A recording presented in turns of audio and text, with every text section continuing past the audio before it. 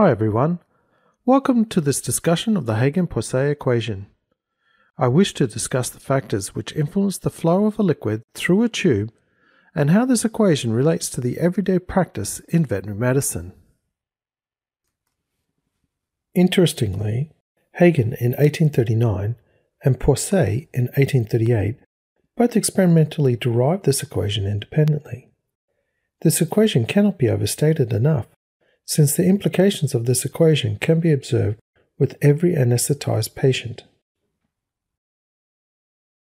Firstly, we must appreciate that there are a number of assumptions with the Hagen-Poiseuille equation.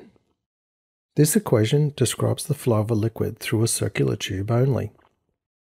The flow is laminar, and the fluid itself is a Newtonian liquid, for example, like water and air. Even though blood is not a Newtonian liquid, its physical characteristics are sufficiently similar to water that blood is assumed to be a Newtonian liquid.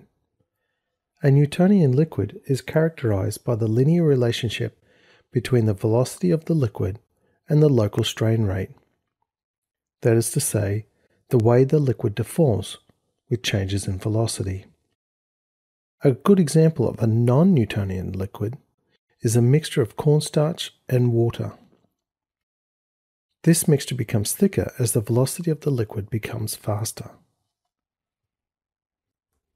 The objectives of this webinar are to improve your understanding of the factors which influence the flow of a liquid through a tube and how these factors will influence the practices of everyday veterinary life.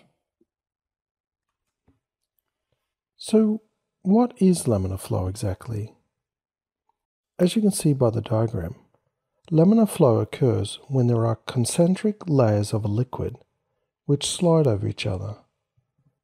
When you measure the velocity of the liquid across the cross-sectional area, you'll observe the maximal velocity at the center of the tube and the lowest velocity at the periphery, where the interactive molecular forces are at their highest.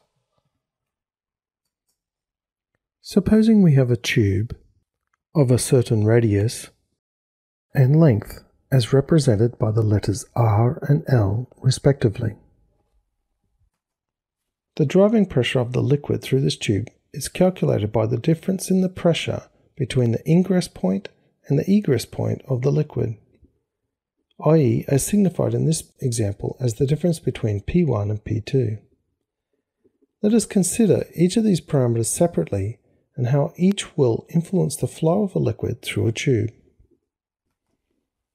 What is the effect of increasing the pressure differential on the flow of a liquid through a tube? Now imagine that P1 is increased, but all the other parameters are the same. Using your intuition, what do you think the effect will be on the flow? Is this relationship directly or indirectly proportional? Pause the video now and formulate your answer. As the pressure differential is increased, the flow will increase in a directly proportional manner.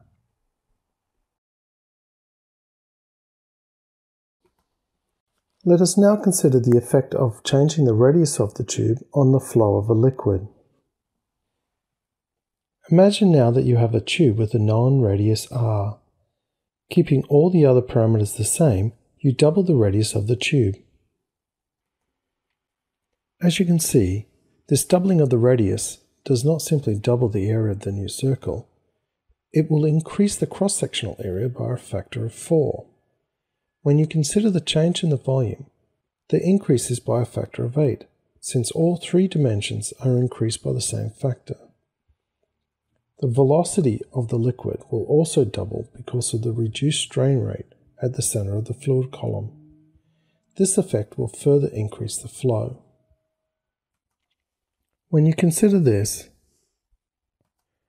it is obvious that the relationship between the flow and the radius of the tube is exponential. In fact, the flow of the liquid is proportional to the radius raised to the fourth power.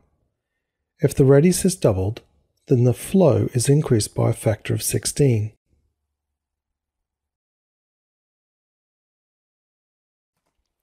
The second dimensional factor that will influence the flow of a liquid is the length of the tube. If the length of the tube is doubled, what will happen to the flow? You may now pause the video so that you may reflect on this question. You may use a real-world example of where you're breathing through a snorkel. Why is it that the length of a snorkel is of a standardized length? By increasing the length of the tube, the resistance will increase as a linear function. There is now more interaction between the liquid and the surface of the tube. Thus, as the length of the tube increases, the flow through the tube will decrease.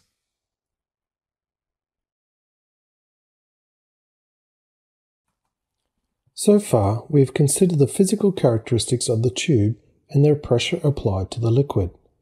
We have not considered the liquid itself.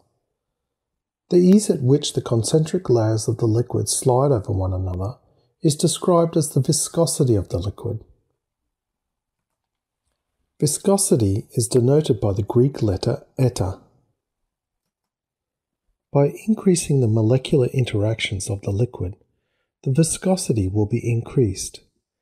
This will make it more difficult for the liquid to deform, i.e. to flow through the tube. Thus the velocity will slow down. You may pause the video now to contemplate the relationship between the viscosity and the flow of a liquid through a tube. This relationship is quite intuitive, especially when you consider the comparison between water and honey. The flow of a liquid is inversely proportional to the viscosity of the liquid. So in conclusion, the pressure differential, the length and radius of the tube, and the viscosity of the liquid all influence the flow of a liquid through a tube, as described by the Hagen-Poiseuille equation. Changes in the radius of the tube will have the most dramatic effect on the flow of a liquid, since this is an exponential relationship. This has many clinical implications.